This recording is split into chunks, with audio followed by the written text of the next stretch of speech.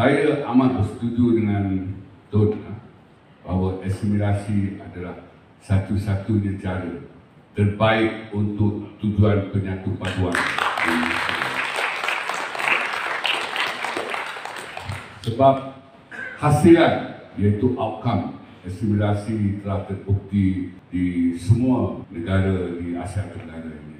Bagi saya, saya rasa ada satu jalan yang ada kaitan dengan apa yang Tun telah lakukan selama ini. Tun telah memberitahu Tun kata. Sebenarnya orang bukan Melayu, orang Cina. Mereka pandang rendah terhadap orang Melayu.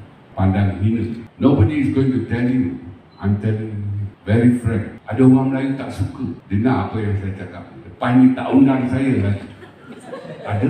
Bagi saya, apabila Melayu menjadi kuat, hebat. Orang Cina akan hormat kepada orang Melayu sebagai bangsa yang berkebolehan. Sekarang mereka tahu ramai engineer, ramai peguam, tapi semuanya sponsor ditaja. Dia melalui dasar ekonomi baru, uh, tindakan informatif dan sebagainya. Yang Tun dah cakap banyak kali dalam PAU itu, Tun minta orang Melayu bangkit jadi bangsa yang maju Tun pun pernah cakap sampai baca sajak lagi sampai menangis lagi. Dan dalam buku Tun Dr. The House pun Tun tulis balik dan Tun kata Tun gagal saya kira kalau orang Melayu boleh bangkit lebih-lebih lagi tanpa tongkat orang Cina akan pandang tinggi. Dan dengan itu mereka akan belajar bahasa Melayu. Itu bahasa bangsa yang berkebolehan dan segala-galanya ini sesuatu yang mungkin tuan-tuan dan puan-puan tak suka dengar apa.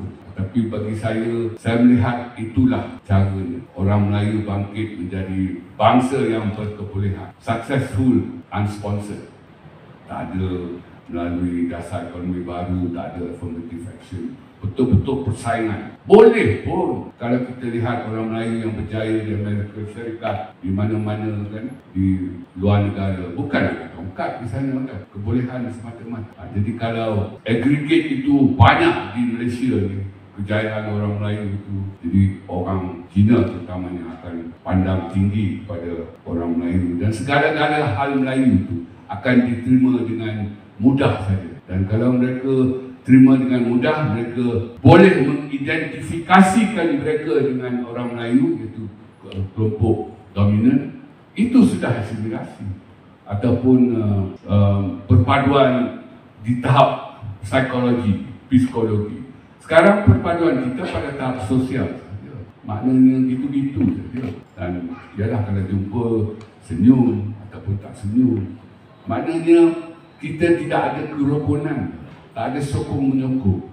Dan lebih teruk lagi, kita curiga mencurigai antara satu sama. Ini satu fakta. Orang Melayu tak percaya pada orang Cina, orang Cina pun tak percaya pada orang Melayu. Bagaimana kita nak maju sebagai sebuah negara? Ha, maknanya kita berpecah. Tak adalah berpecah secara terbuka, tetapi memang berpecah. Tidak ada kerukunan. Tak ada sokong menyokong.